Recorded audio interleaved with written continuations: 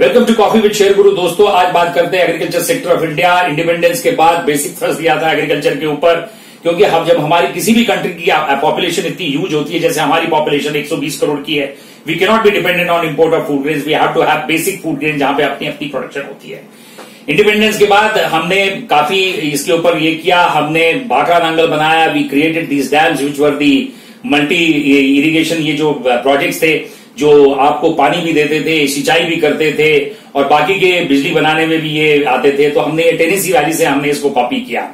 यहाँ पे agriculture sector बहुत इंपॉर्टेंट है, क्योंकि 13 परसेंट कॉन्ट्रीब्यूट करता है जीडीपी को 50 परसेंट हमारी पॉपुलेशन एग्रीकल्चर के ऊपर काम करती है। तो यहाँ पे दोस्तों हमने ये देखा है कि 1947 के बाद हमारी productivity compare to the other countries of the world बड़ी है। उस जमाने में हमारे पास वीट की बड़ी शॉर्टेज होती थी। P L four eighty wheat हमारा इंपोर्ट होता था। हम वो लाल गेहूँ खाते थे जो अमेरिका से आता था। यूएसएआईडी से हमको फंडिंग मिलती थी। उसके बाद फिर हम सेल्फ सफिशियंट हुए। एम एस स्वामीनाथन हमारे जो मिनिस्टर थे, उन्होंने ग्रीन रेवोल्यूशन किया। उसके बाद वाइट रेवोल्यूशन भी आया, जहाँ पे हमने अपनी एनिमल हस्बेंड्री में हमारी मिल्क प्रोडक्शन बढ़ी। उसके बाद हम कुछ 1970 के आसपास हम बड़े सेल्फ सफिशियंट हुए as per as food grains were concern but अभी भी हमारी प्रोडक्शन पर हेक्टर बड़ी कम है। तो इसके लिए गवर्नमेंट तो एग्रीकल्चर कर नहीं सकती है farmers have to do agriculture you have to give them an incentive you have to give them irrigation के लिए आप उनको पानी दो, उनको अच्छे सीड्स दो, उनको बढ़िया आप पेस्टिसाइड्स दो and that is how you know your agriculture productivity को आप सेकेंड चीज़ मेरे को ऐसा लगता है कि जब पानी की हमारे पास कमी होती है तो जैसे मैं देखता हूँ कि दो स्टेट्स में झगड़े होते हैं, कावेरी रिवर के ऊपर, अरे क्यों झगड़ा करते हो? आज की डेट में इनोवेशन से और हाई टेक्नोलॉजी से लेटेस्ट कन्वर्ट हमारे पास समुद्र का पानी है।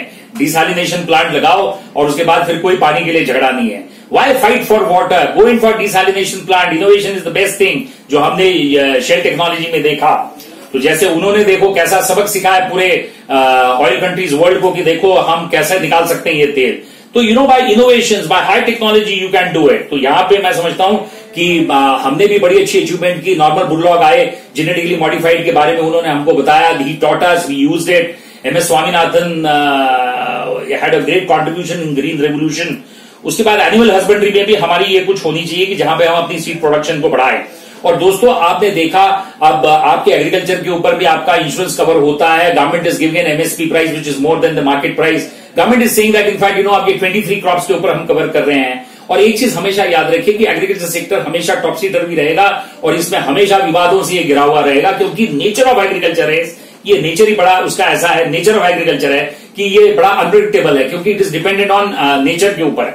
तो दोस्तों इस चीज़ को, सारी चीज़ों को देखते हुए एग्रीकल्चर इज़ वेरी इंपॉर्टेंट और जैसे जैसे हमारी प्रगति होती जाएगी, हमारी जो percentage of people in fact are working on to agriculture वो नीचे जाएगा, जैसे आज अमेरिका में टू परसेंट है। अब करते हैं बात एग्रीकल्चर रिलेटेड एक कंपनी मोन्सेंटो के बारे में। Monsanto which is one of the world biggest companies seed business में a presence in India it was a listed company but ultimately this company was bought over by Bayer और Bayer अब ये कोशिश करेगा कि सारे शेयर्स को acquire कर लेगा।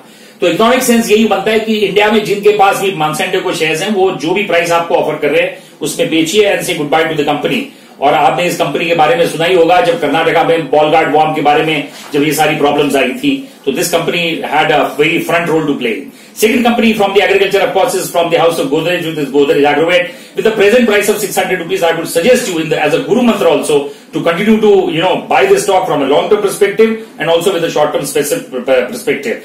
Company with an equity of 180 crores. Look at the fantastic net sales at 3,674 crores and a net profit of 284 crores.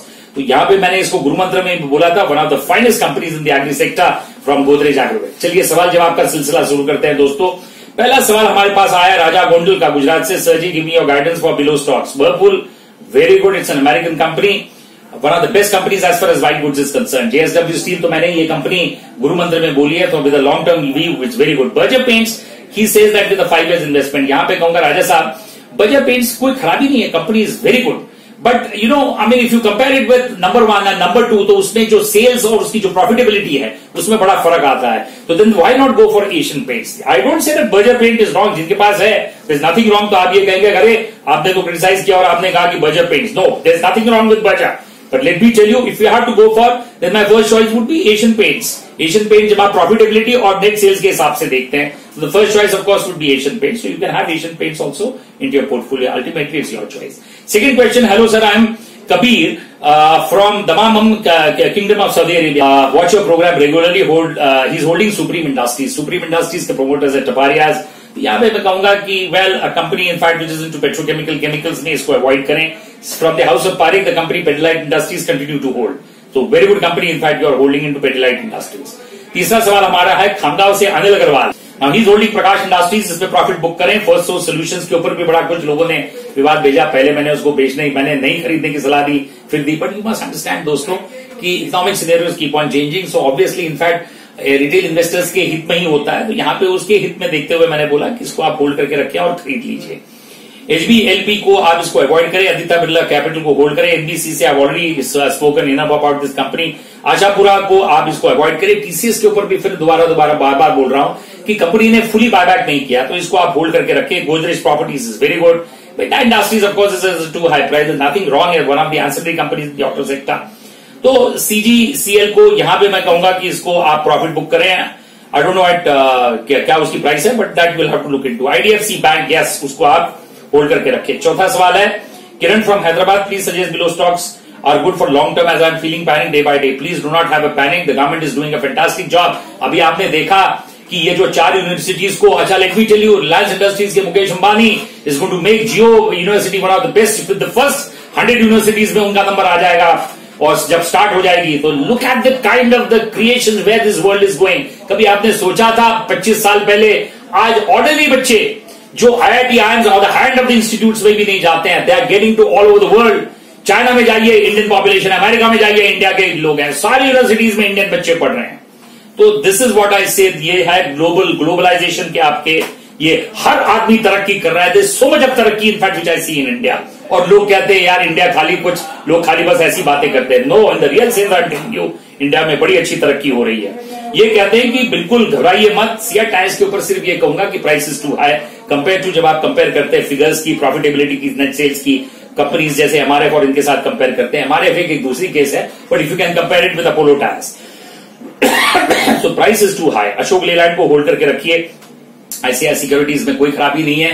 यही मैं दोस्तों आपको बोलता हूँ कि as far as governance is concern जब बोर्ड ऑफ़ डायरेक्टर्स ये कहते हैं कि कहीं किसी कंपनी में विवाद होता है तो वो कहते हैं कि we have full faith in the chairman rather than saying full faith in the chairman you should get into the problems of the matter और उसकी, उसको वो सॉल्व करने की कोशिश करे rather than saying we have full faith in the chairman that is not the interest वो आप इसलिए बोलते हैं क्योंकि आपका शेयर प्राइस बाज़ार में गिरना नहीं चाहिए। Your whole interest is to look in the interest of the share holders ये आपका बेसिक इंटरेस्ट होना चाहिए। This is what is good governance आखिरी सवाल पे चलते हुए hello sir my self Biplab from Bangalore and he is a big fan of mine and ये प्रोग्राम को रेगुलरली देखते हैं I would like to thank you for hosting this program thank you so much कि आप लोग इस programme को देखते हैं therefore it is so popular it's really helpful thank you so much as you always ask for feedback it is invested below in shares Tirumala Chemical, let me tell you, Tirumala is not a very new company. It's an old company which is into chemicals. They're one of the finest companies. But again, I would say the valuations is too high. The pricing at 2000 rupees is too high. आप ठीक है उन्होंने उसको स्प्लॉट split कर दिया that is a separate thing but it is at too high price तो ये मेरे को हजम नहीं होता एटसन the ice cream company Arun ice cream very good brand very good company Ashok Leyland बहुत बढ़िया एनबीसीसी के ऊपर बात कुछ कर चुके हैं साउथ इंडिया बैंक बहुत अच्छा है स्वराज इंजीनियरिंग नहीं है स्वराज इंजिन है Parag milk is good Britannia के ऊपर तो मैंने इसको लास्ट टाइम मैंने इसको गुरु मंत्र में बोला था सौ रुपए कीमत बढ़ भी गई थी। मारुति सुजुकी में भी बढ़, बढ़, बढ़त हुई है। तो ये तो मैंने जैसे कहा ब्रिटेनिया मारुति और long term perspective stocks and short term perspective stock out of these I already book profit in Parag milk and only Tirumalai तो अगर तिरुमलाय में I not understood this lard word कि तिरुमलाई में आपने प्रॉफिट बुक किया कि नहीं किया। But let me tell you Tirumalai में is nothing wrong but the only price is too high तो दोस्तों, इस एपिसोड को खत्म करते हुए गुरु मंत्र है। मैंने मारुति सुजुकी तो आपको बोला ही है जो आपने यहाँ पे खरीदा हुआ है बट यहाँ पे और एक कंपनी फार्मास्यूटिकल में जो मैंने आपको गुरु मंत्र में बताई थी अबाउट उसको फिर बोल रहा हूँ कि इसको शॉर्ट टर्म और लॉन्ग टर्म परस्पेक्टिव से रखिए। One of the best companies in the pharmaceutical sector thank you so much